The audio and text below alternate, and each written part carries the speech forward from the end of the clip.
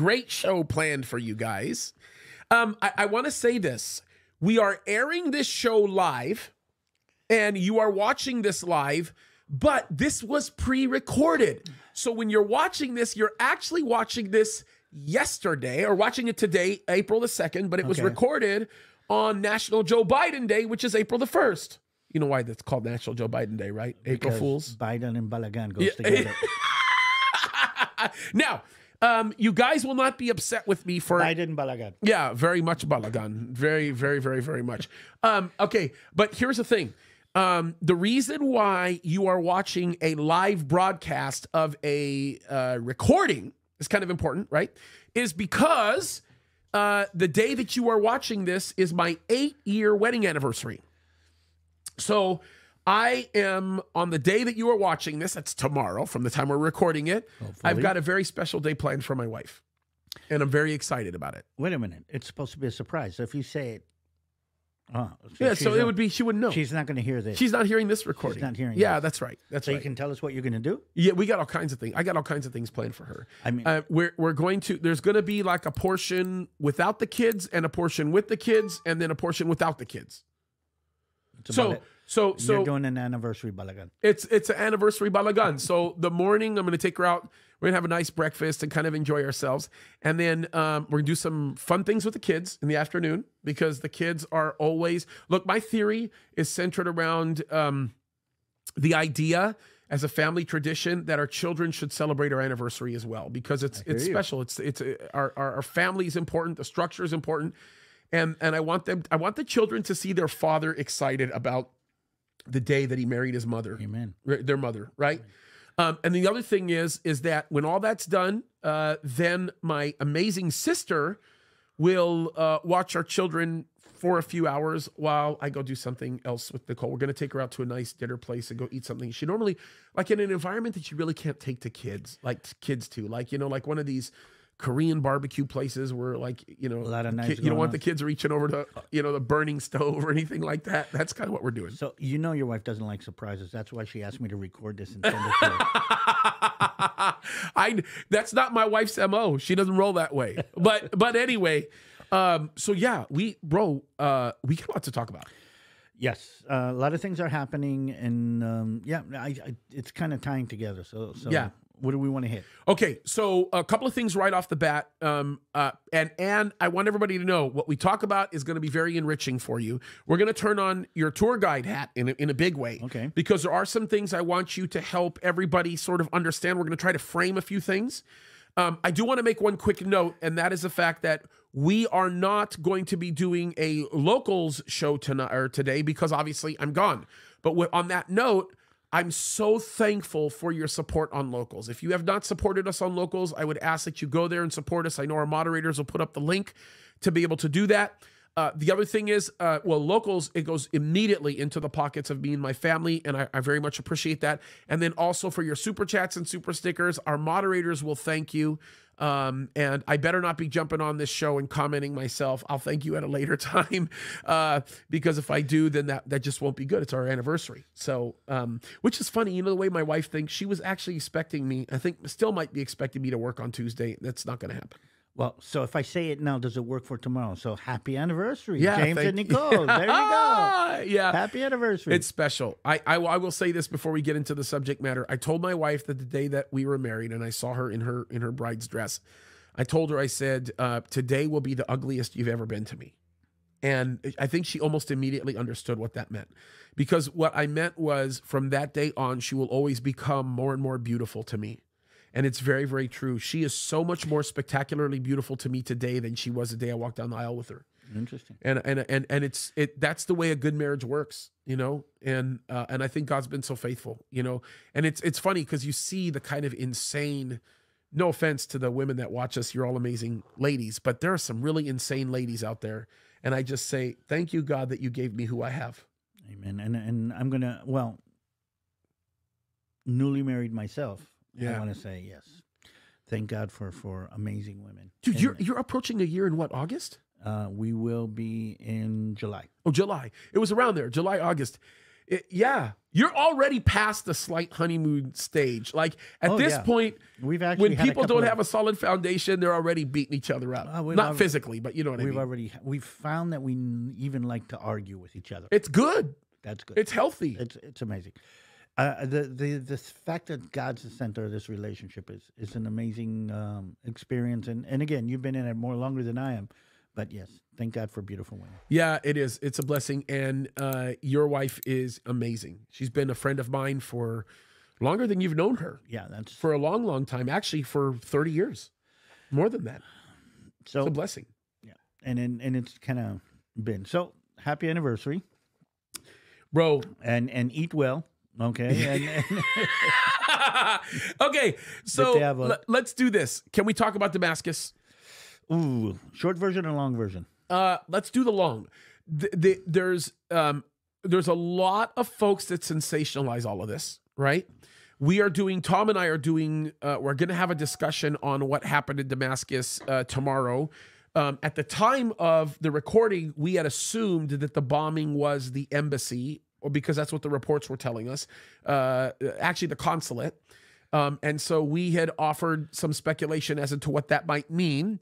Um, but now we know a little bit different. So talk to us. Uh, give us give us the rundown. Can let's I- tell tell us the story. Let's like what happened, and then let's let's get into it a little bit. let's back up a little bit on Damascus, okay? Because we all we all know that Damascus is is part of the prophecy. We all know that Damascus was one of the most populated and most uh, sophisticated cities in the Middle Ages. Okay, Undoubtedly. Anybody, anybody, anybody ever heard the term Damascus steel? And I just heard that a little while ago. You never heard that term before? Well, I not and we don't use it in Hebrew. Okay, so Yeah. so Damascus steel, and I'm saying to myself, wait a minute, I know a little bit about Syria. I mean, how can the Syrians do anything that is worldly renowned? It turns out that during the Middle Ages, Damascus was uh, the center of production of Oh, very yeah. high level steel. Hundred percent. Who destroyed Damascus? You know the story of the the Mongols. I don't know if you know, but the Mongols. Uh, uh, conquered Damascus Yep. and and slaughtered in, in the most inhumane way possible. Very ugly picture. very very ugly. So so you know so Damascus has all this history, but today Damascus is literally this this the center of of a nothing nation. Yeah. Okay.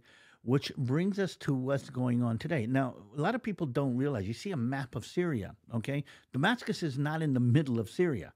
Damascus is literally an hour drive from Israel, Yeah, from that's the right. Golan Heights. That's right. So um, when you go up on Mount Hermon, which is on the northern corner of, of Israel, you can actually look down into the outskirts of Damascus. And during the Yom Kippur War, after we had stopped their advance and pushed back, we were literally, literally in the outskirts of, of Damascus itself. So Damascus is not way out in the middle of nowhere. It is very close to Israel.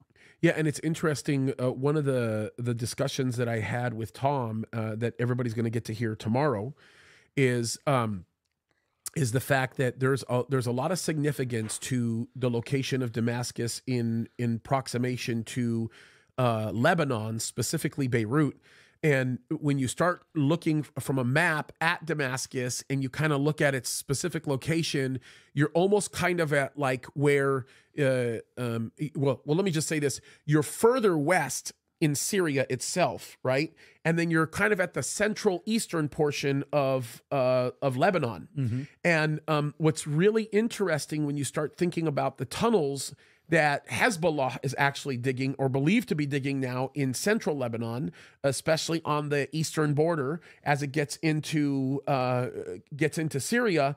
A lot of people are thinking that it's being dug backwards into Lebanon by Hezbollah because of the presence of many uh, Hezbollah factions that are in Syria right now. And so when we were talking about this bombing that was taking place, one of my speculations, or let me just say pontifications, is that um, Israel has a very vested interest in striking anybody right now who is encouraging the type of implicit behavior associated with the construct of anything that involves movement from nation to nation through tunnels with Hezbollah. Um, and, So- and so that was kind of a thought process in my head. I mean, obviously, southern Lebanon is the biggest problem right now, but I think central Lebanon, cent- the central eastern portion of Lebanon, is going to become a bigger problem because of its proximation to Beirut. I mean, uh, uh, uh, uh, Damascus. So one of the things I need maybe people to understand a little bit about this, we have this tendency to organize the the, the geography of the world into nation states. Yes. and uh, nation states. You know, you've got Canada on this side, you've got United States, you've got Right. Mexico, you've got nation states, you've got borders. This is a border between you know Colombia and this. This is a border between.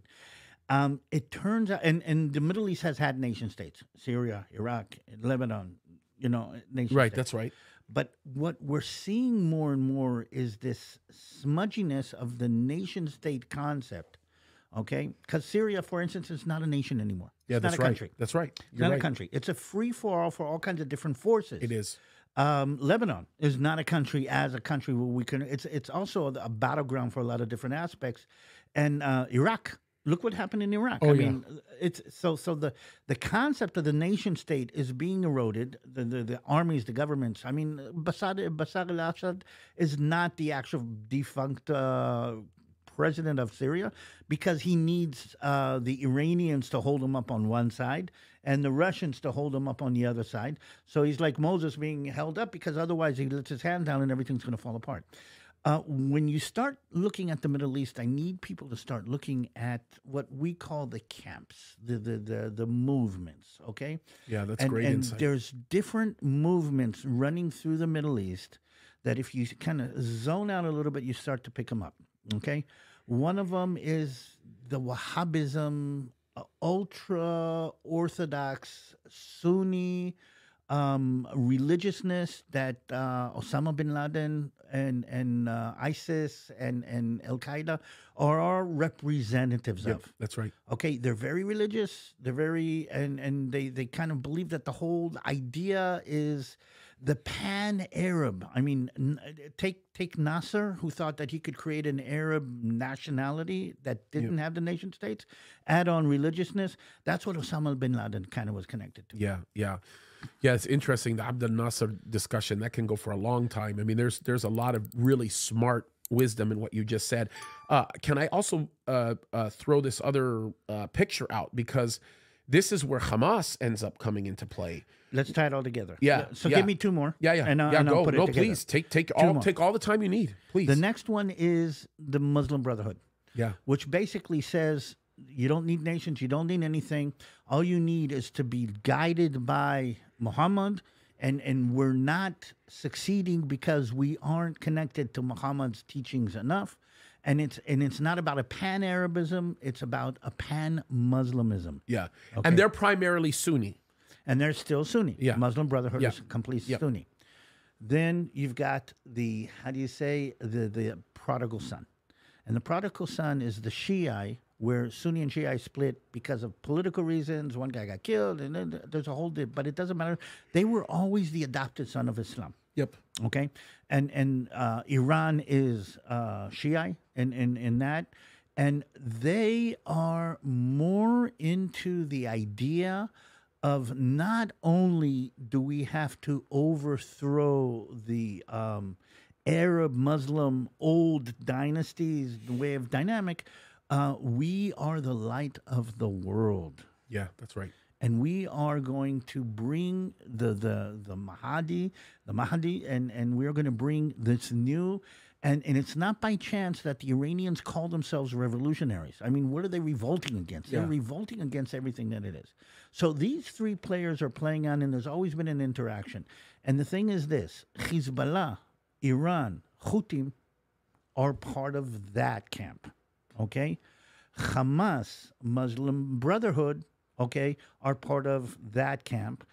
Uh, ISIS and and uh, do we do we understand that the, that uh, there's still elements of ISIS that are still fighting 100%. elements of of the Iranians inside Iraq 100%. today? So so all of this is going on. Iraq, okay, is, is falling apart. So the question is not what nation we're dealing with, what camp. Now, there's a fourth camp that a lot, when when we kind of try to explain Islam this way, the fourth camp is the camp that people don't really talk about it, and that is all the ones that are against Muslim fundamentalism, all the ones that don't want Muslim fundamentalism to break up the whole organization. Saudi Arabia, Jordan, hmm. Egypt, Okay, and here's the weird part: who's a major player in that fourth camp? Israel. Yeah. So so these four movements are kind of reacting. Okay, so how did that bring us to where we are today? What was blown up in Damascus? What was blown up in Damascus was a building that was not the uh, Iranian consulate, but the building right next to the Iranian consulate that doesn't have consular or, or diplomatic immunity. That's very important because that's a whole different dynamic. Okay, that was the headquarters of the El Quds Revolutionary Guard. Okay, so we are not talking about the we are not talking about the uh, the consulate or the embassy. So where this building, where was it in proximity? Right next to it. The right next to it. I mean, okay. I mean, Was whoever any- pulled off the attack, by the way, managed to drop that building down without any major damage to the actual consulate. was it an airstrike? It was. Yeah. Now, So uh, so now, when I say airstrike, when you say airstrike, what does that mean? That means that the the the um, the ordinance that brought the building down was dropped from an airplane. The question is, where was that airplane? I mean, sometimes the airplane doesn't even have to be inside Syria. I mean, remember, Damascus is close enough that a, and an airplane high enough over the Golan Heights, basically, could drop something that'll hit Damascus. Okay. So uh we don't have a doubt in our mind that this was Israel. No. There's there, there's no doubt. I mean, Israel's not going to comment on it, but they, they, uh, have they commented on it yet? I think they've said, yeah, we we, we have kind of taken responsibility. Um, but here here's the thing. I want to remind you. What's the name of the organization? El Quds. What is El Quds? I'm not sure I understand where you're going with the. with the- Jerusalem. Oh, I, meaning what? The, what does it mean? Yeah, that's right. When we say "ots" in in Arabic, that's what we mean. It, it's that's Jerusalem. Right. It right. is the Jerusalem bra- brigade of the Revolutionary Guard. Yeah. Okay, in, Yeah, in right. Iran. That's right. So it's the it is the organization that was put together to fight for Jerusalem. Yeah. Now Iran has no political aspirations in Jerusalem. Iran shouldn't have. I mean, we in Iran before the uh, the revolution were were allies. Okay, remember Persia is not Arab. They're Muslim, but they're not Yeah, Arab. that's right. That's right. Okay, so we were allies. So the only justification for Iran to fight against Israel is because they want to be the forerunner, the Mahdi. The, the, they want to hold the Islamic flag and take it away, the leadership of the Islamic world. There's that's the only justification they have for fighting Israel. Yeah, and this is this is in many ways a proxy war. Uh, Iran, what Iran is doing right now is a bit of a proxy war with Jordan, and, and I'll explain that in a second.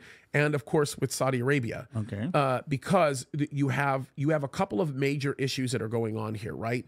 Jordan, uh, we all know about the Waqf in, in Jordan, and they're the ones that, that carry the responsibility of the guardianship of the Temple Mount, right? In Jordan. In in yeah, in Jordan. Well, the Temple Mount in Israel. Yeah, the Temple Mount in Israel, but these are the Jord- it's Jordanians that carry that responsibility, and that's based on some agreements that were made as a result of the last war, where we you know pushed where else back there's and, a and won. Where else is there a waqf? Well, we know that we're talking about Saudi Arabia. Saudi Arabia. So, Yeah. so what the Revolutionary Guard is trying to do is revolutionaries overthrow That's right. the old regime Yeah. or the old religious regime. Now, remember, it's not nations; it's movement. It's Yeah, that's you very want- smart. It's if you very want smart. for for for an understanding, it's a denomination. Yeah. Okay. a very smart. It's a very smart approach because the statehood mindset is the is more of the secularist way of thinking. Uh, and it, I think you're I think you're And, absolutely and right. here's something that's dawning on my mind. If you go back to European history, okay, think about the struggle, the war, the Cold War that was fought between Protestantism and Catholicism. Catholicism, okay, it wasn't a nation war. I mean, yes, there were nations on this side and there were nations on this side, but it was a war that was more than Italy against England. It was more than Germany against this. It wasn't a nation war. It was a fundamental religious movement war that actually came or uh, that that actually took place on the ground in political Rome. Uh, So Rome Rome was the main player, but it was fighting through Italy, it was fighting through Spain, it was fighting through, you know, and on the other side you have Britain, and even Britain had a civil war where part of the people were Protestant. And look at look at uh, look look even in Ireland today, okay, what's going on in Ireland. It is a war between different religion factors that are being fought inside the country. Yeah, that's very true. So we have the battle of the Shia and the battle of the Sunni going on here, and each time different nations. So let us bring us back to where we are. The guy that was killed, the main instigator, or the main, how do you say, uh, casualty of the Iranians in this strike in Damascus, was the commander of the El Quds Brigade in the whole Middle East. That's right. Now, what's the Al Quds Brigade? The Al Quds Brigade is us, Iran, bringing our fight for dominance, and the symbol of dominance in the Arab world is what? Yeah. Jerusalem. Yeah. Yep. That's right.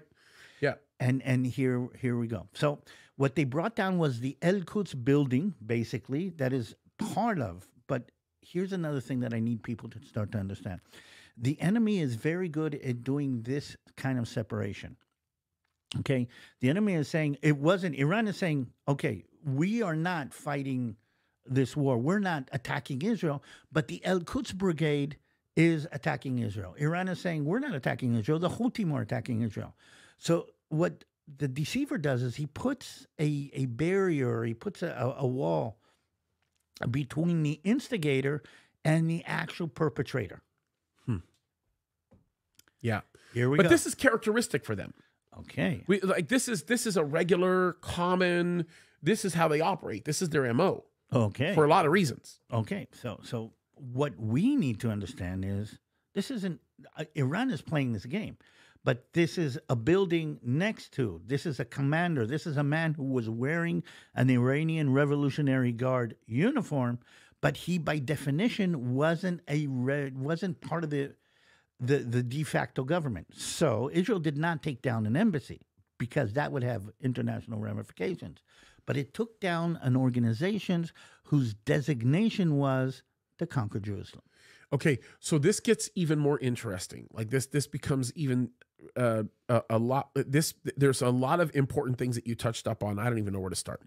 um, okay, so the faction thing, I just think is brilliant analysis because w- one of the things that I've always believed is I've always believed that the uh, the statehood designations never really mattered as much as the designations that are tied to the different beliefs from within the factions of Islam, right? By the way, this is interesting because to, to, to better prove my point in this and, and actually more uh, uh, give validity to the point that you're proving, just stop for a second and provide some analysis for Azerbaijan. You- if you look at what's going on over there and you begin to think about what's happening, that is a picture perfect It is illustration it of is- what you're talking about. Uh, well, I, I didn't invent the system. I mean, I've, I've been listening to a couple of Israeli scholars, uh, but basically they call it the camp war. I mean, uh, uh, I actually saw uh, there's a YouTube video. I don't remember what his name is. He calls it the the game of camps, as in the Game of Thrones. interesting. the game of camps, and he, and he goes into to this. And and here's the thing: the Palestinians are trying each time to grab each camp. Now think about this: Hamas should have nothing to do with Iran. They are different camps. Completely. And now we're seeing this going over. But why is Iran willing? I mean, do you understand what Iran did to Hamas? Oh yeah. I mean, if Oh, you're yeah. if you're if you're a Hamas warrior and you think, oh, I'm going to bring, you know, I'm going to bring the jihad, I'm going to bring the flag of Islam to the world, I'm going to strike at the colonial, imperialistic, uh, Jewish, uh, Christian entity in in the world. I'm going to take my AK-47, crawl out of my hole. Attack and, and suffer the repercussions, and I'm going to bring the whole Arab world is going to come up and follow me and and he comes out of his hole. He does that. He's getting bombed like crazy, and he's about to lose. And he's saying, "Wait a minute, where are my Muslim brothers?" And and what does he get? He gets from Iran right now. Actually, what he's getting is crickets. Yeah, that's right. That's right. He's getting crickets. That's right. And and Iran is saying, "Wait a minute, I'm not going to let them take the flag for the Muslim world." Yeah, and, that makes and- sense. Ag- Again, people ask, "Why didn't Iran get into it?" Because if the Hamas is the the flag bearer of, of Islam, then what's the justification for Iran? What's the justification Yeah. for the, the Revolutionary Army? And and that's why. And and so what does Iran do? It says, okay, I've got my own proxies here. He gives the flag to the Houthis and say, do something. And uh, he gives the flag to whoever is part of his camp. So how do they retaliate against the attack? So the El Quds commander was killed in Beirut in Damascus. That means one, we've entered Damascus. Two, we've realized. Three, we've hit very close to the Iranian embassy, but we're very careful to put the. There's a wall, not a wall. There's a there's a gap between the two buildings. Look at the picture. Yeah, one right. building is on the ground. The other building is standing up. That's right. Okay, and we're saying, okay, we can do this, and and Iran is saying, okay, then we need to make noise, and that's what happened in Eilat yesterday. I Hmm. don't know if you if you remember, uh, you heard the the reports. So a I, I didn't. Get, I didn't a, hear what happened. in slow Eilat. flying, slow, low flying drone. because this is all during Easter, and I, I that was a very Oh, yeah, busy wow. day for me yesterday, so I didn't I didn't even hear this. So a slow, low flying drone flew uh, across the the um, the Red Sea, uh, the Gulf of Eilat, actually, No and hit the naval base. Israel has a naval base in in the southern port of Eilat, and actually hit the naval base. And we kind of tracked it back, and we realized that it came from Iraq, no less. So an Iraqi faction under control of the Iranians shot a drone that crossed over Saudi airspace. How, that's my question. How Jordanian in the airspace. world? Jordanian airspace, Saudi airspace, Israeli entered Israeli airspace and hit an Israeli military target in Eilat. I mean, I, th- this is the part that I don't understand because I want everybody to understand what what this means. Look at the map. I mean, you if this flies, if well, I don't need I don't need to look at the map. Yeah. I I know the geography. If this thing takes off, it's likely taking off somewhere on. This is my guess. I mean, I could be wrong, but it's probably taking off somewhere in the eastern portion of the Persian Gulf, the the the, the border of Iran or the or the the coastal section of Iran along the Persian Gulf. It's probably taking off there. okay. Okay. And you're 100% right. It has to cut across the Gulf. It No, may no, go no, it may go north of the from Gulf. Iran. It came from Iraq. Oh, Iraq. it came from Iraq, not Iraq, Iran. I thought you said Iran. Sorry, sorry, sorry. No, it came from Iraq. Okay, that's a lot belie- that's a lot more believable to me. Okay. Now if it came from Iraq, is it Iraqi or is it Iranian? It's well, here's the thing. It was probably fired off by an Iranian proxy that is in Iraq, which means Iraq is not a nation state anymore. So this is so interesting. This is a pretty amazing development here. Well, yes, Yes, and I think I heard this wrong because I thought you told me Iran. No. So if it's coming out of Iraq, Yep. Again, the the the the the camps, the the my mind is going a million miles a second. How in the world? Because even with okay, look, even with Iraq, north of the Persian Gulf, the United States of America has a whole bunch of assets that are designed to stop to, this guy. to yeah to supplement the function of Patriot missiles. okay, so, I- like so- how in the world does that work? How do we miss that? okay, because okay, you give something that is slow enough and and low enough that it doesn't go up on into the radar. I mean, it, it can fly, you know, uh, fifty feet off the ground the whole way. But how does that not get obsed by people? Oh, maybe I don't Well, know, man. That's so shocking to me. There you go. And it came over Jordan. It came over from the Jordanian side. So it has to have enough fuel. Jordanian side. So it has to have enough fuel to to fly that far. Okay, it has to be high enough that it will not go over. Okay, uh, might not have crossed into Saudi. It might have come directly from Jordan. It would have to cross over Saudi Arabia. Not sure. unless it took off from like Baghdad, it would have to. Uh, uh, my my guess is it was near the Kuwaiti border. Had to have been near the Kuwaiti border. How in the world? Everything along the border in Iraq, southern Iraq, everything along that border along the Arabian Peninsula, we have assets on over. It got through. Uh, by the way, it got through Israeli military air force. That's what shocks me. now, don't get me So wrong. So wait, you mean so, so, it so it it couldn't cross uh, it couldn't go across Jordan. There's no way. why not? It would have to go it would have to follow the northern border of Jordan. No, because that's where it's It least through- it came- likely to have came- any detection. it came through Jordan. So here's my thing: if it goes straight through Jordan instead of the northern border of Jordan, Either came through Jordan or came through Saudi Arabia. I don't know if you know, but the, the, Yeah, yeah, the I Bay of know, I Eilat, know. Bay of Eilat is where Saudi Arabia, Jordan, and Israel connect, and Egypt, by the way. Yeah, Egypt as well. The, the- a part, well, part of what some people called Old Sinai. But I know what you're talking about. But here, about. here, I want, I want to tie it together all together. Okay, thinking about, we'll go back to if you want to go see, see what that means. Um, it didn't do any damage, didn't kill anybody, didn't stop anything, but it indicated to Israel we can get here. So here's what happened: Israel took off, took out the main commander of the Iranian influence in Syria and Lebanon. the order to drive that drone across would have come from him.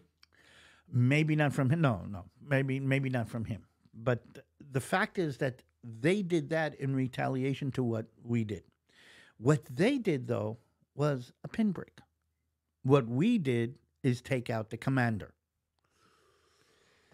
But that's Now- disturbing to me, man. How in the world can that thing fly and go undetected across those nations, especially Jordan? It's a, that has a treaty with Israel. We know that's what the Iranians would do. That's how the Iranians attacked. Remember the uh, the gas uh, fields Yeah, in Saudi yeah, Arabia? yeah, Okay, again, and and again, um, maybe and and uh, I was messing around with the drone yesterday, and I know you're into drones and everything.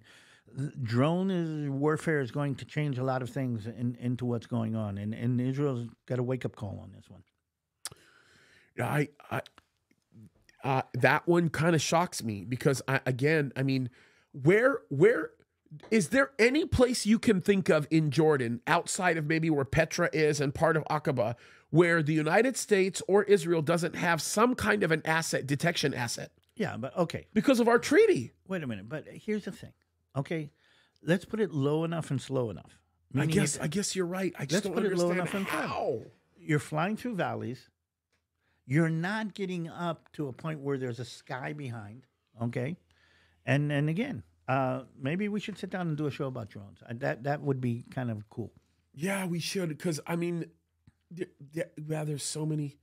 And then the other question is, what kind of drone would it have been? Okay, but here's the thing: it did a very little amount of damage. Look, I look, I get it. As a matter of fact, I you know what? I'm gonna I'm gonna demonstrate something because it's this, this actually goes to the discussion that we're actually having. Uh, this this drone base here, I'm I'm I'm just gonna just shoot the picture off. Okay, This is the one at uh, Qashan Airport. which is This where this drone base. This is ah, this uh, is the middle of Iran. yeah, this is an Iranian drone base. Yep. Okay. We learned a lot from this. As a matter of fact, this is interesting because if I remember correctly, this is the defense ministry photo of this came from Iran's defense ministry, by the way. It was a propagandist tool that got out of their hands and and we actually have this. Are they seeing this now? Uh yeah, they're seeing it right now. They're not seeing us, but they're but they're seeing this. Okay. What's what's really interesting to me is when we found out about this base, we learned a lot about how these drones operate. And we adjusted accordingly how we detect these drones. This was 3 years ago. So drone detection has become a major issue. I don't know Yeah, if you yes. know. Um, according to one of the pieces of information that I got, is that the only way to take out drones like this is with laser systems Yeah, laser systems or jamming technology. or jamming technology. So, but but but here's the thing, um, and uh, maybe I shouldn't be going here, but this this even more puzzles me because if Israel, look, uh, we know this now. We didn't Okay. know this at the time.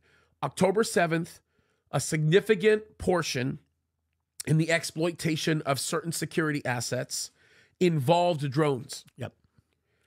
We, from all that we heard, By the way, in fact, a certain system that they had to overcome tanks. yeah. Yeah. So we we is haven't we been hearing that that's been all shored up? How did we get one to Eilat? That's my question. Okay. So, so first of all, James, I, I remember looking at some of those helicopters you have in your office. Yeah. Okay.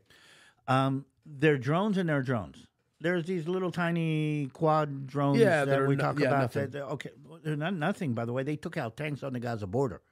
Yeah, but th- those ones are probably uh, they're not a handful. They're not like a hand size. The ones that you're talking about that took out those tanks are probably three feet, three feet in uh, uh, fit fit in a, in a in a three foot maybe circle, maybe Yeah. thr- maybe three three to six feet, Yeah, right? but- But, but that all it is small, need- relatively well, speaking. all they need to do, by the way, is drop a hand grenade inside a tank hatch. yeah, I mean, that's all Yeah. you need to do, or Yeah. fly into the hang Yeah. tank hatch and, and explode inside. But that's one thing. The drone that we're talking about was probably the size of a small airplane, but it was mostly fuel, almost no ammunition. Okay, and it had to be able to fly very, very, very low and very slow because what sparks off the detection systems is elevation and speed. oh, that's interesting. That's really interesting. So I mean, the drones that the Iranians are using to to fight, they, they they're selling them to the Russians that are that are taking out tanks in Russia, have the motor of a lawnmower in the back. That's all you need, and if you have a big enough fuel system, if you have a big enough fuel tank, they can fly a thousand miles, and basically that's what this did. Yeah, I mean, I have a helicopter that I'm building that has, in essence, a lawnmower engine in it. It's a little tiny, uh, more like a chainsaw engine, but Okay. it's the same. It's the same kind of construct. So I mean, you got fuel, weight, power, but you know something like that. We're talking Yeah. about we're talking about something like that. It didn't go up in the sky. I mean, it's not like the it's not like a rocket. I mean, you see a rocket going up, okay, you detect it, you can aim it, and we did take out ballistic missiles. I mean, uh, But isn't the Iron Dome decide? Hasn't the Iron Dome been modified significantly to be able to deal with drone attacks? yes, basically yes, and which is why we're trying to figure out what happened. Though I don't know if you remember. Um, I mean, when's the last time you were in Eilat? Oh gosh, You're maybe in- with you. Yeah, when you're in Eilat, you're in the Yeah. Syrian African Rift. Yeah. You're way, way down below. Okay, you're on sea level, but all around you are mountains. So you're in a deep. So if a drone comes from across the Red Sea in Eilat, which is as far as we are from from, uh, I don't know, just a couple of blocks.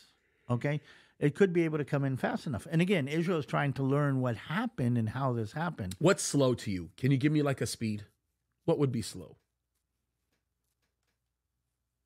Anything under 100 miles an hour. Oh, so that does make sense. Goodness gracious. It must have taken, you know, 15 hours. Whatever. Yeah. And there are some drones that have that kind of capacity. Iran has become very good with those with those things. Iran has drones. By the way, um, unmanned uh, planes, unmanned boats. I don't know if you know, but the the uh, Iraqis have taken out a couple of uh, major shipping assets in the Black Sea. Oh yeah. Yeah. The Ukrainians, sorry. Yeah. Yeah. The the other thing that we know is that although Israel will never admit it, you know, that there are some assets that have that have harmed some serious assets. Or there are some there are some drones that have harmed some serious Israeli assets that people are not talking about. We're trying to keep that undercover. Yeah. But that's that's interesting because Israel has been targeting very aggressively uh, Iranian drone technology, especially in well, remember when they destroyed that big old factory, that drone factory. Okay, but the, the Iranians are doing a good job, including knocking down an American drone. Yeah. Yep. And Iranians are very good, just like the Chinese of of how do you say back engineering, Yeah. Reverse engineering. reverse yeah. engineering, and and that's what happened. So that's the situation right now. Okay, um, though I will say this: uh, Israel is poised to go into Rafah. So all the Israeli Okay, news is can we talk about, that. this? Can we talk about that as well? Yep. The, the is. Israel going into Rafah. Let's do it. Kamala Harris, that big. I, I, I'm I'm just sorry. Wait a minute. I mean, she's gonna if if Biden wins the election, she's gonna be the president. You know that. Bro, look, Kamala Harris just basically put Israel on notice two days ago and said, if you go into Rafah, there's going to be consequences. What the heck is she thinking? Well, the world is saying that. I mean, she's not the only one saying that. The Germans have said that. Uh, you know, the British. You should hear what what the um, the um, um, Irish Parliament is is standing up and saying about Israel. You know, on the floor of the Irish Parliament. I mean, terrible things. But Um, I think what she's thinking is that if she doesn't somehow manage to wave the flag of anti-Israel, then the Democrats are not going to win the election. Yeah. Well, because I'll tell you why. Listen, they're worried about uh, Michigan and they're worried about. Uh, um, it, it'll come to me in just a second, but two two big states that are uh, very very strong Islamic influence. And and the Muslims are saying we're not going to support you unless you come and, and come out against. And again, there's the squad. I think you call them. Yeah. Okay, Yeah. Terrible people. So so they're all there. But again, in American politics, the anti-Israelism has become anti-Israelism, anti-Semitism has become the main glue that holds the left side of the political together. By the way, can I ask you a, a separate question? Because this got asked. Somebody wanted me. Uh, the answer to this is very obvious to us, but somebody wanted me to ask you to explain this. Um, where did the term anti-Semitism come from? When we talk about uh, Semites, why is it only? Why is it a term exclusive to Jews? When we talk about anti-Semitism, can you explain well, that? look, first of all, the term anti-Semitism means uh, s- Semitic peoples Yeah. are the people of the the son of Noah. Yeah. Okay, uh, the guy named Shem. Yep. Okay, he had three sons: Ham, Shem, and Yefet. Okay, the the the descendants of Shem are Semites, which include, by the way, the the people of Israel because we're descendants from Abraham. But also include the Ishmaelites, Yeah. who are descendants of Abraham. But also include the Amalekites, and also include the the Canaanites, and also include all of the people that are in the genea- genealogy. So, so basically, anti-Semite should mean everybody who is of Middle Eastern descendant, everybody who is from that descendant of of uh, of Noah.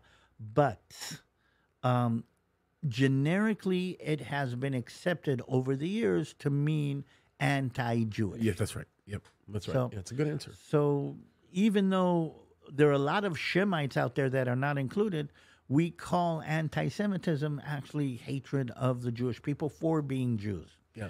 Okay, so so again, I don't that's I don't know where the split actually was, but uh, I mean you can't be. I, I mean Arabs are anti-Semitic.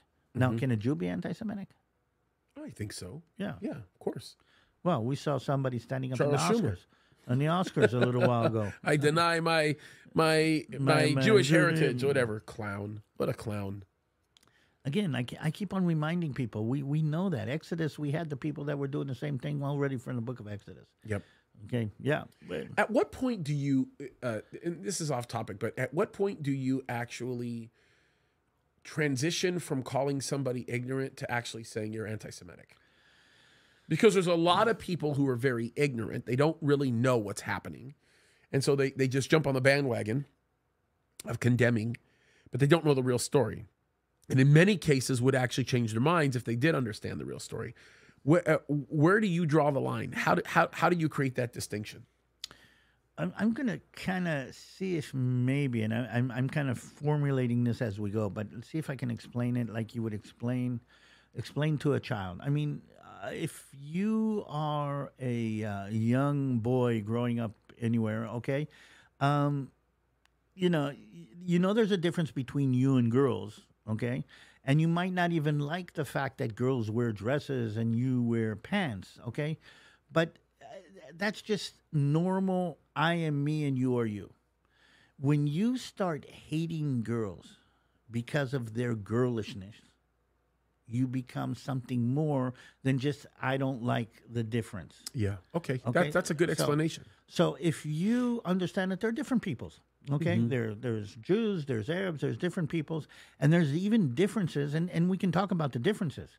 But when you actively hate somebody just because of that difference, then it's it's it becomes an anti-Semitism. I I can not like somebody. I don't like this guy because he acts and behaves something. But here's the thing: it's like when when something goes personal. I mean, it's not your fault. It's because of what you are.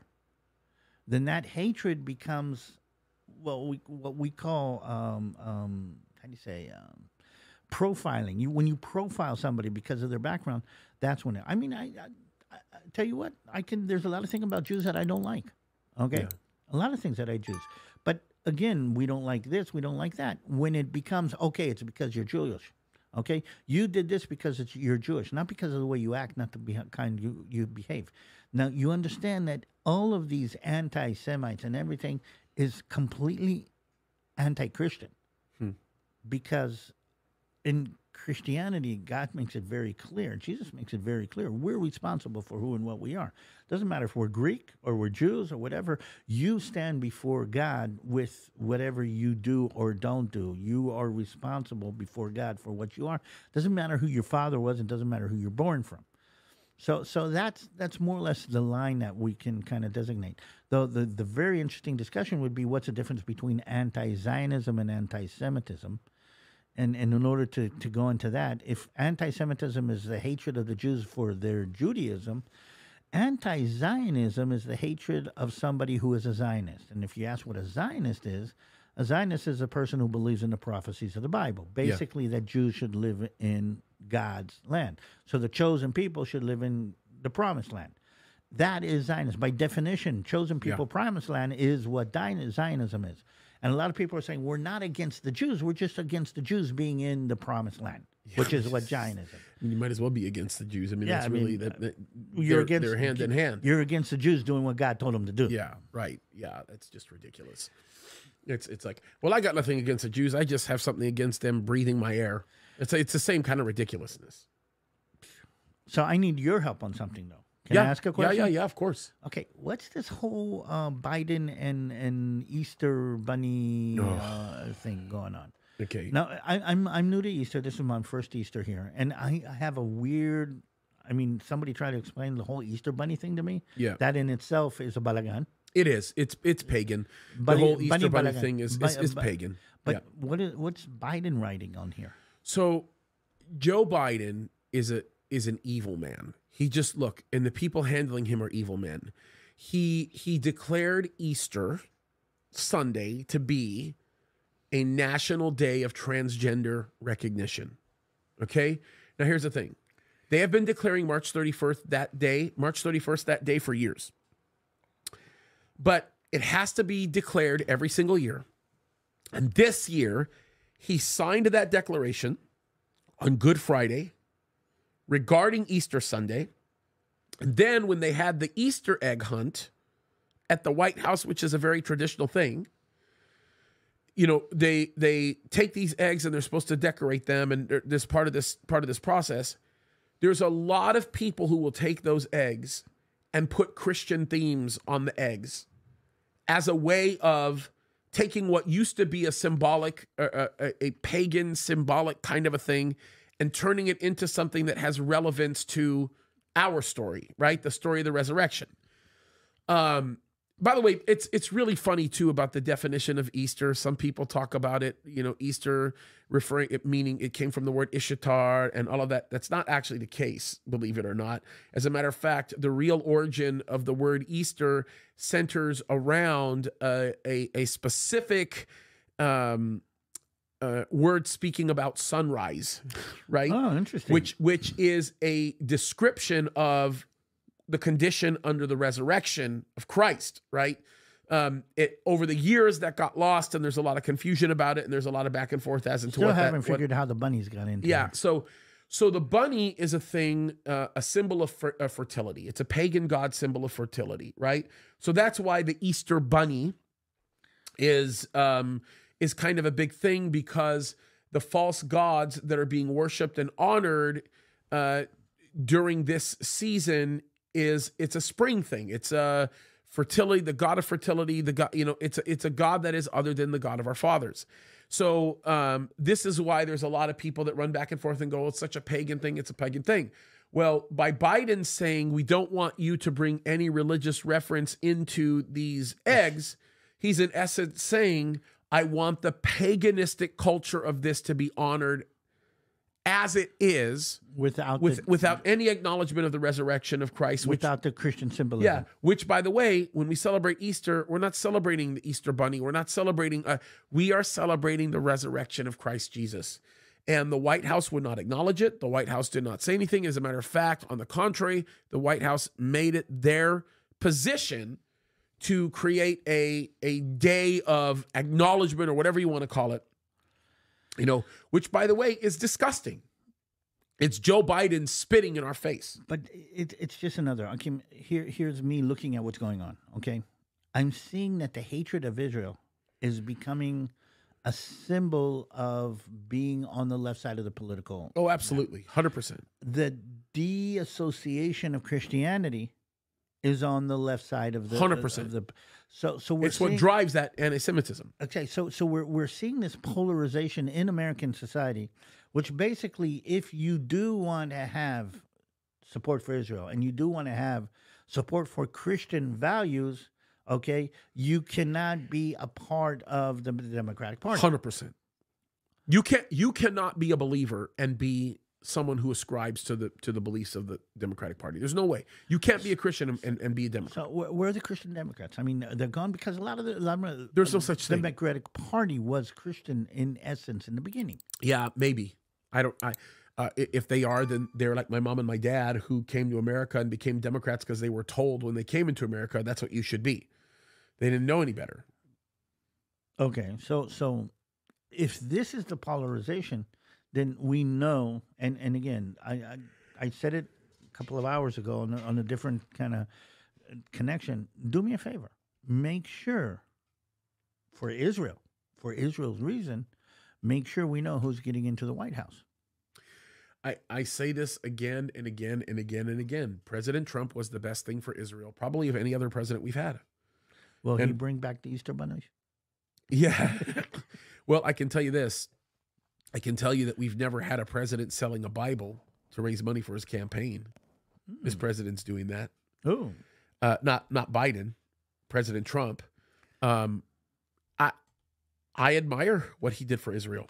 oh, we do. I mean, I mean, more so than even Truman. we we miss him. We Israel's miss him. Yeah. Yeah, of course. Of course. Listen, uh, if if Trump were president right now, I don't even think we'd see the kind of aggression that we're watching towards Israel by Hezbollah, by Iran, or even by by uh, the Houthis. Uh, maybe Hamas, maybe, but that wouldn't last long. Okay, but again, part of the polarization that we did. Okay, so we are living in a in a world where appeasement is a policy. Yep. Okay, and uh, again, anti-biblical. Bible says there are things that are right, there are things that are wrong. You 100%. never you never learn to live with. You don't sleep with. You don't eat with. You don't dine with. You don't connect with everything that is wrong, that is evil. Hundred percent. But we're living in a world where okay, the the, the deceiver has managed to deceive us into understanding a lot of us to understanding that there's no such thing as evil. There's no such thing as there's no good. There's no bad. It's all versions of, of this. So if there's no good and there's no evil, then then basically, if somebody evil comes to kill to kill you, it makes sense to try to convince him not to. And if That's he right. does, he does. If he doesn't, he doesn't. And we're in a world of appeasement, and Yep. your government is doing this, which is why I'm hearing people say, I mean. I'm hearing people say, "Why don't we just sit down and talk to Hamas?" And and I love it. Yeah. I love it when people say, "Okay, uh, we demand a ceasefire now and a return of all the hostages." And I'm saying to myself, "Wait a minute. I mean, you're you're the the city council of, of Chicago has decreed, okay, that there should be a ceasefire now. I mean, what what are you talking about? the city of Chicago, uh, the city of Chicago decreeing that there should be some kind of a, a ceasefire is one of the most obscene, absurd, ridiculous statements I've ever made. And that that clown mayor won't declare a ceasefire in his own city. So What a, what a clown! No, and, and again, here's the thing: truth doesn't matter. I mean, I'm seeing some of the things that they're saying about Israel, and I know are wrong. You know are wrong. Probably even the people saying them know they're wrong, but it doesn't matter If- they say it and they get enough likes. I mean, Joe Rogan. I mean, if if he if he's liked enough, then then what do you what are you going to say? And we're living in a world of likes. I I think that um, regardless of how bad that side of it is getting, the obligation sits with us to just continue to tell the truth. And I think the better we become at telling the truth, the more effective the message is. Um, and I think that that's that's perhaps the most significant part of all of this. You know, the fact that we have to go out of our way and walk people through the very thing that we're doing right now. You you you have to you have to make people understand what's really going on, right? And this is this is a really big deal. And I think that Damascus is going to continue to get bombed. Um, I think we're going to continue to have those problems, and there's going to always be people looking for and seeking to find a reason, and they're going to do it again and again and again and again and again and again and again and again to condemn the actions of Israel, even though Israel is not worthy of those condemnations. Uh, it's I, I like the idea though of people sitting here and saying, I know what's going on there. I mean, podcast, they're saying, yeah, but this happened, so that means one, two, three. And I'm saying to myself, wait a minute, you you're not there. You don't no, know. they don't know. You No, don't know. they don't you don't know. By the way, you don't know for this side and you don't know for that side. Yeah, it that's doesn't matter. true. So how do you decide who is right and who is wrong? Yeah. You basically base it on the amount of likes that each side has. Well, and that's the part. Like these people are just sitting in their own bubbles and they don't really understand the real perspective on this. My favorite ones are the ones that are like, free Palestine, free Palestine. And they're uh, doing their gay rights shirts. And they're, if you were in downtown Gaza for five seconds, listen, if you were in Rafah for five seconds, you're dead. Um, interesting, interesting dynamic. I, I heard yesterday, day before yesterday. Sorry about. Uh, did you come up? Did you hear the accusations that Israeli soldiers are raping Palestinian women in Gaza? It's ridiculous. They've minute. been saying this now for, for months, They've bro. stopped. Okay, and here's here's here's why they stopped. And I heard a very interesting podcast. Al Jazeera started pushing it. A lot of the news uh, started pushing it, and all of a sudden they stopped pushing it. Now here's the thing. Okay, it's a lie. It's a libel. Okay, but here's the thing. They were pushing it for a while. They found somebody to stand up and say, "My sister told me that she was raped by the Israelis." One, two, three, four. Uh, there was a connection between Israelis uh, raping at the El Shifa in the El Shifa hospital. Okay, and, and she said we're living around this, and, and we were molested, and, and we're afraid to go out. But then it stopped, and and I heard a very interesting podcast by an Israeli scholar. He says, then why did it stop? I mean, if if they're willing to lie about the numbers of the people getting killed, they're willing to lie about what's happening, they're willing to lie about everything. Why did they stop? This? Yeah, that's true. And and the and, and and somebody sat down and says, you have to understand Muslim society, okay, in order to understand. These are deeply religious fundamentalist Muslims. Yep. A woman who is raped cannot get married. A woman who is raped is ostracized by her own society. A woman who is raped in this society because it is considered no, kind of natural process.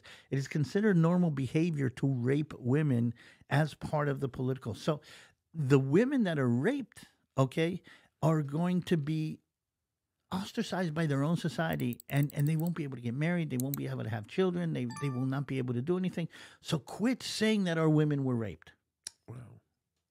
I mean, what I'm trying to say is this is such a deeply, how do you say, uh, what do you call patriarchal, religious, fanatical society It's true. That even if a woman is raped, she carries the brunt of the the uh, of, in their society. Uh, she carries the brunt of the the um, how do you say the um, punishment for that. Yep. Okay, Uh, they're so deeply patriarchal that even they blame the rape victim for being raped. And and here's the thing. And again, besides the, the libel against, don't you see what you're dealing with? Oh, 100%.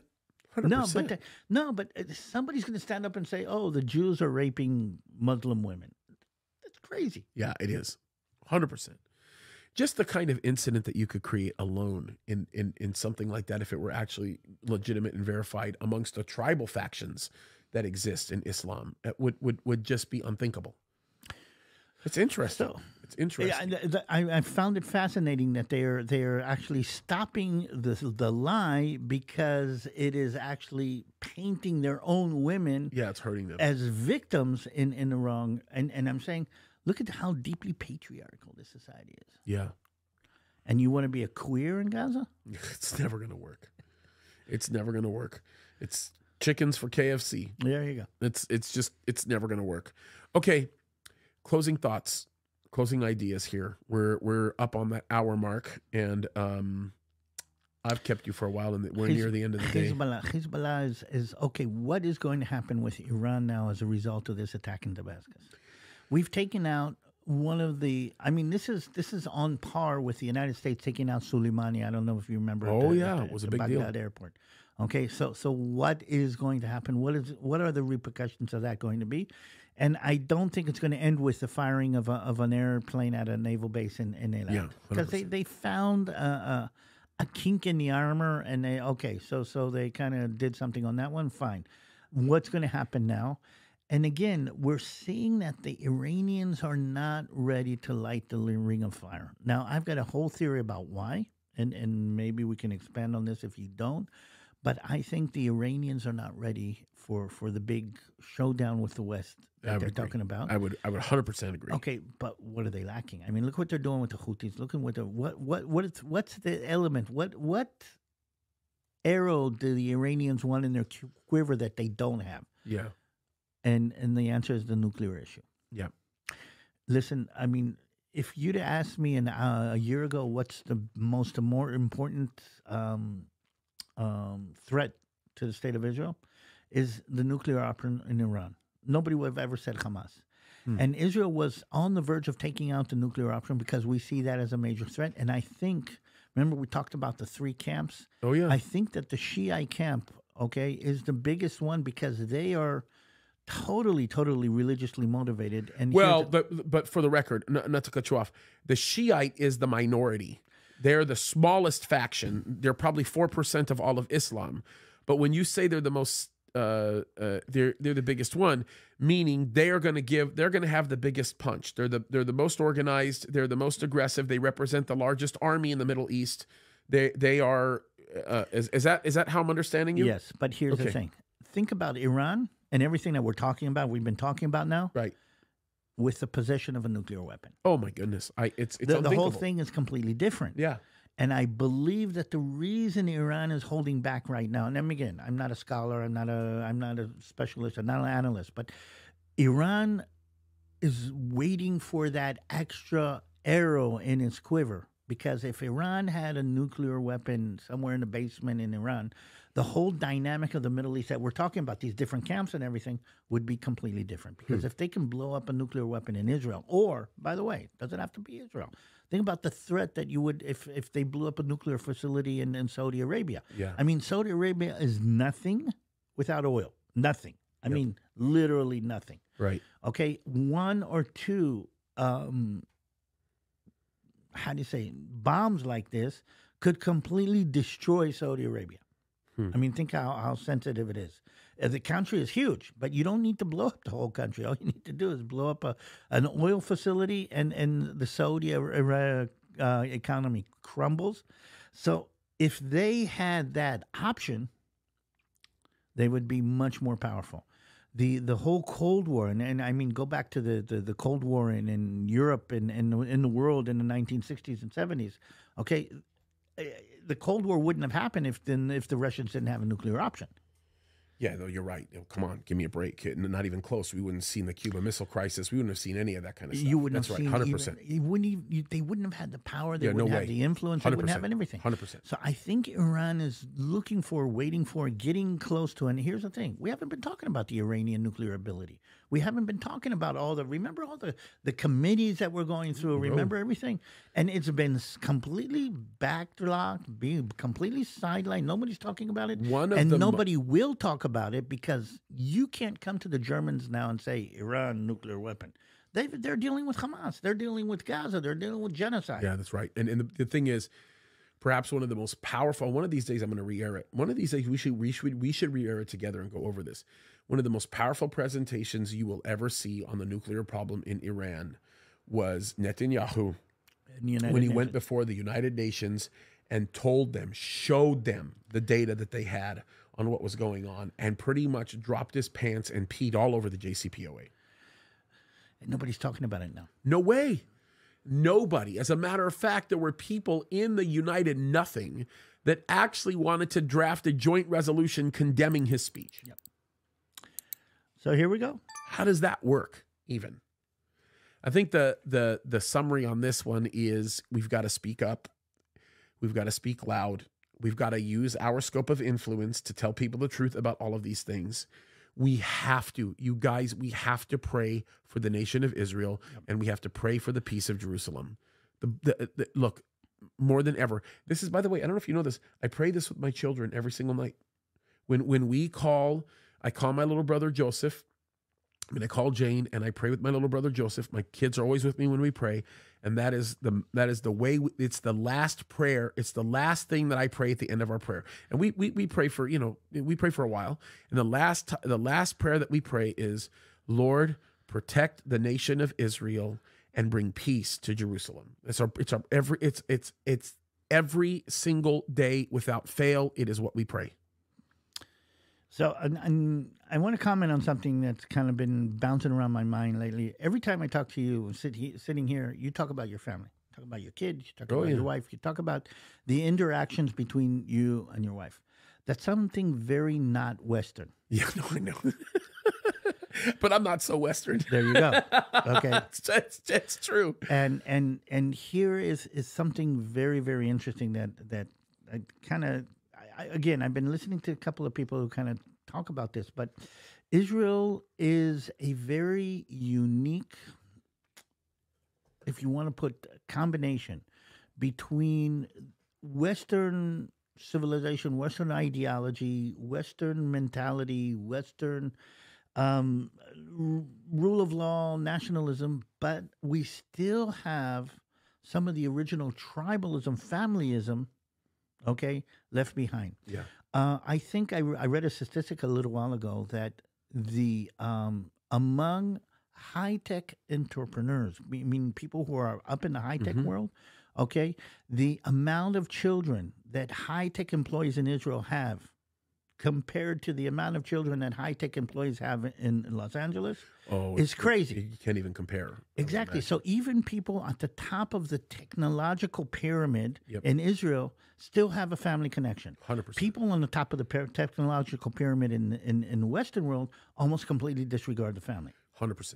And and that's one of the uniqueness of Israel is that on one hand we do have Western technology, science, but we still have the family connection. Okay, and and I, it just dawned on me that every time you talk about your family, it's not something that in the West people do on a regular No, basis. no, no, no, no, no. And the other thing, I mean, look, I mean, you know this, and we all understand this, right? Our, our family and our children are a central part of our lives. People here in the United States of America, at least the left, um, says the patriarchy is evil, and the and, look, patriarchal culture is is God's design. It's how it's it's how God put it all together. And when you look at Abraham and the culture that Abraham uh, facilitated, it was inspired by the Lord Himself. It's founded on the the just the basic fundamentals of creation. God gives five commands when He creates mankind in Genesis, right? He says, "Be fruitful." He says, "Multiply." He says, "Have dominion." He says, "Replenish and subdue." These are these are the commands that He gives us, and you're not going to do it without that patriarchal familial familial structure. You and and listen, I mean, you tell me. I mean, look, we we talk about even children being balagan sometimes, right? And all of us know what that's like. Oh, Yeah. believe me. Yeah, but you I know don't know what? if my kids are hearing me, but they're Yeah, they're balagan, plenty of balagan. But you know what? I, I've lost count how many times you talk to me about how much you love your children mm. and how much you care about them. And just even right now, it look it's beginning to bring tears to your eyes. It's hard not to be affected by it because our family means everything to us. We love our families, and and that's why we do what we do. We do it for our children. Yeah, but that's that's part of the Middle Eastern part. That's that's part of It's the true. Middle Eastern of where we are. Okay, and true. what I'm trying to say is, don't lose the family connection. I mean, Amen. you know, you know where I, where I noticed it starting. Okay, um, when I was growing up, family sitcoms were a basic part of the way of life. Oh, sure. Okay, but then it started going weird on weird families. Okay, and then I don't know if you remember. I remember sitcoms about, uh, you know, three dads and and, and girls and yeah. all kinds of weird stuff like Oh, that. yeah. And today, family sitcoms are non-existent. Yeah, they don't exist anymore. 100%. And by the way, there were people that were called crazy for saying that the day will come when those won't exist anymore. When everything was going crazy. And they were called crazy. And they're right. I mean, look at this. Now we can't even tell the difference between a boy and a girl. I mean, that's that's the world we're going in. Ugh, And these people, all these people that propagate this nonsense, they don't. They know. Yeah. They're just choosing to, to to propagate something because of a I don't know, cultural Marxist idealism. That's, that's just what it is. It's really disgusting. But it's, you know, the bottom line is really when you come down to it, Western society and Western civilization and Western culture has departed so much from the word of God that all of these principles are far from us.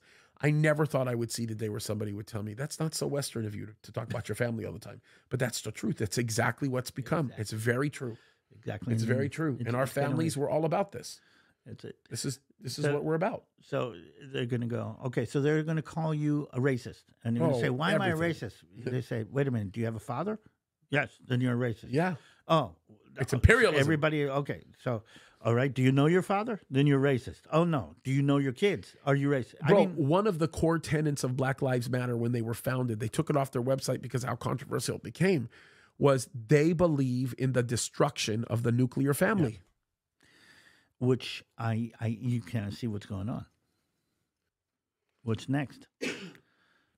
So it's it's it's the work of Satan. It's Satan's done this from the very beginning. You can see the practical application of it from the very beginning and we're seeing it again. So, um, men, stay in the lives of your children. Amen. Okay. Yep. Be a part of their lives. Teach young boys what it means to be masculine. Teach young boys what it means to be a man. Amen. Teach the provide and protect protect that is our basic role and and and this is something that we've got to kind of somehow connect again because I'm seeing again here in California, so many so many families are not nuclear families anymore. Hundred percent, bro, and it's it's really bad. It's getting bad, but it's true. It's absolutely true.